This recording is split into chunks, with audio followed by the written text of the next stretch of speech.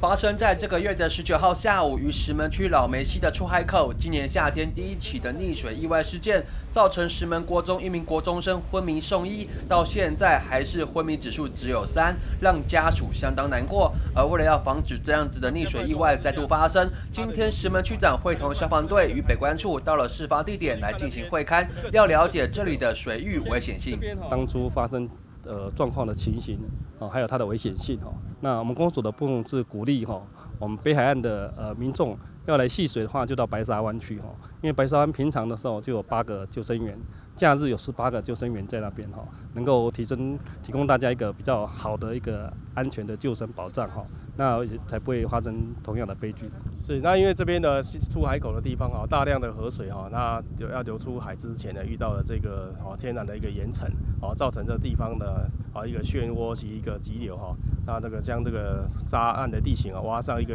约五公尺的一个深的一个的一个潭。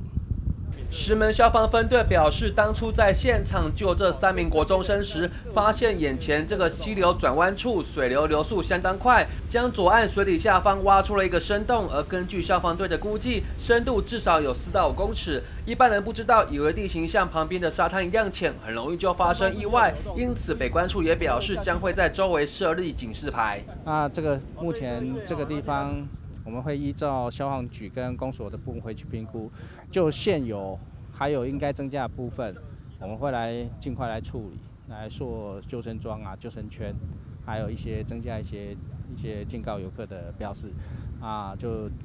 提前禁止。就是劝阻游客在这边做戏水危险的动作，这样子。北关处表示，未来将会在河道的两岸入口设置禁止戏水的警告标志，同时也会增设救生设备。此外，区公所也呼吁民众最好是到邻近的白沙湾或者是设有救生人员的安全水域来戏水，以避免意外的发生。记者徐端义石门采访报道。